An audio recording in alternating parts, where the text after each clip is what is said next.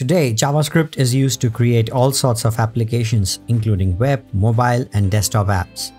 JavaScript has evolved from being a programming language used for form validations and dynamic content to a full-blown programming language that is used to create mobile and desktop apps as well.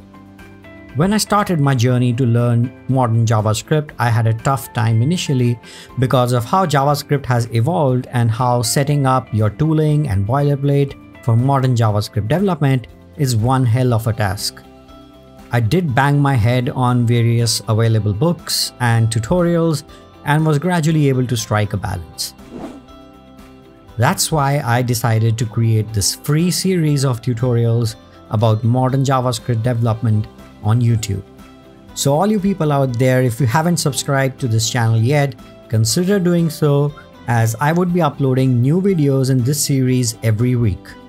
Apart from that, I will also keep posting new videos about the most recent trends in software development. So if you're interested, it would be worth subscribing to my channel. To give you a very high level definition, JavaScript is a programming language that lets you add dynamic content to web pages. Though modern JavaScript is not restricted only to web pages, to start with things in the beginning, we would stick to the context of the web browser.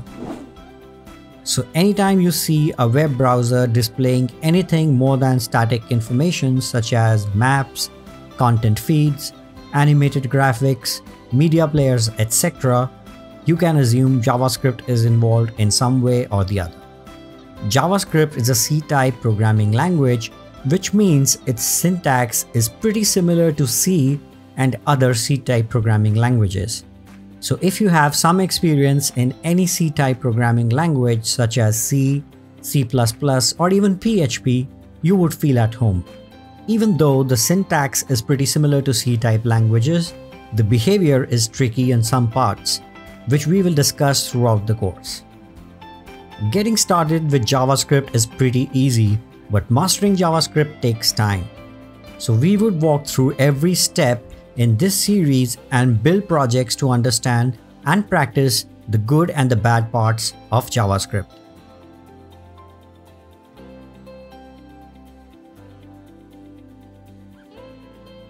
Now if you are a complete beginner, as a prerequisite to this course, I would recommend that you know the basics of HTML and CSS. This will help you understand the examples and relate to the flow. You can take up any HTML CSS crash course here on YouTube and you should be good.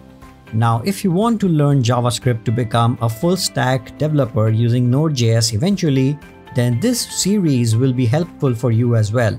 Remember, be it Node.js or browser, the basic syntax and the principles behind JavaScript remain the same. So if you're someone who is a complete beginner, who is just starting with JavaScript, or someone who has prior programming experience and wants to learn a new programming language, or someone who wants to brush up your existing skills, this is the right course for you. Once again, if you haven't subscribed, do subscribe and hit the bell icon to get notified whenever I post the next video to this series. That's it for this one and I will see you in the next video. Till then, peace.